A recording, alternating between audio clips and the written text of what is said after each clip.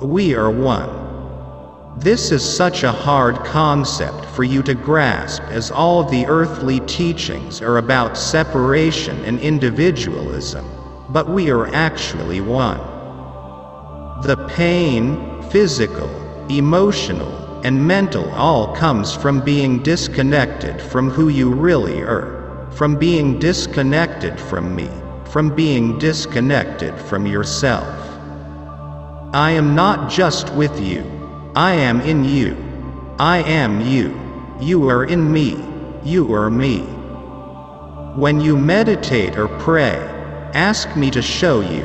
Ask to completely reconnect so that our vibrations are in total harmony. As you come to a realization of this, you will know that I can never leave you, for we are one. I love you because I am you and you are me. This is too hard a concept for your logical mind to fully comprehend. That is why you need to spend time with me, so I can show you, so you can begin to feel the connection, till you know this is who you are, not just when you pray or meditate, but all the time. When you can experience this and truly know it, you will be free you will realize that no one and nothing can hurt you, for you are within me. You will understand the depth of my love for you, you will be loved. You will truly be at peace because you will realize you are peace. You will have all you need because you will realize I am within you and you are within me and my knowledge is your knowledge. Everything you ever need is right here. All you need to do is remember who you are and just be.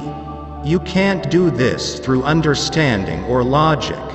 You can only experience this by letting go.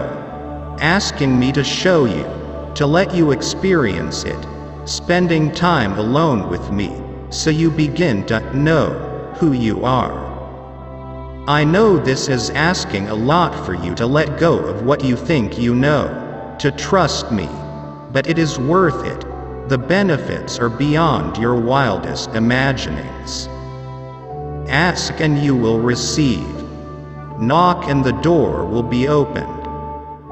Seek and you will find. If your mind gets in the way, Use guided meditations to take you to the place within, and I will meet you there.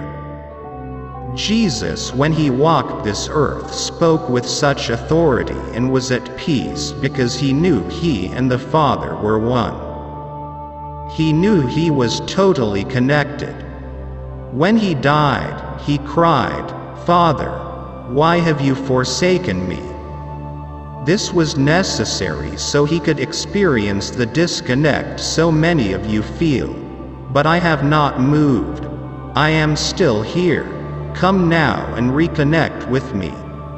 I give you love, peace, joy, and so much more. These are free gifts I give to you. Will you take the time to receive them? Will you sit with me a while today? As always, I love you.